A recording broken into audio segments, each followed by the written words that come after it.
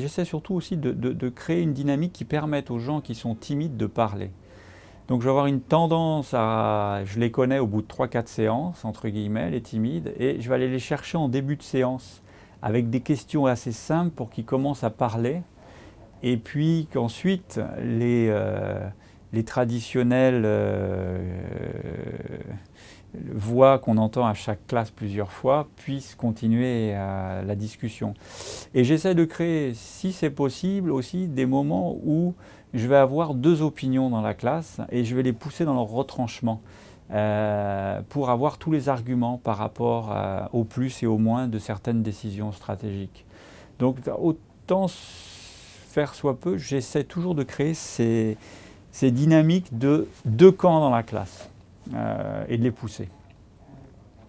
Et ça m'arrive d'avoir, euh, de prendre un vote par rapport à une question, puis j'ai 28 étudiants pour telle option, puis deux qui lèvent pas la main. Bon, ben, je vais commencer par ces deux-là. Puis je dis, non, mais vous, vous êtes contre. Donc, alors, non, je n'ai pas dit que j'étais contre. Ah, vous savez pas ce que vous voulez. Bon, alors, vous allez être contre, et puis allons-y. Non, et là, ça, ça, crée un peu la, ça crée un peu le débat et la dynamique.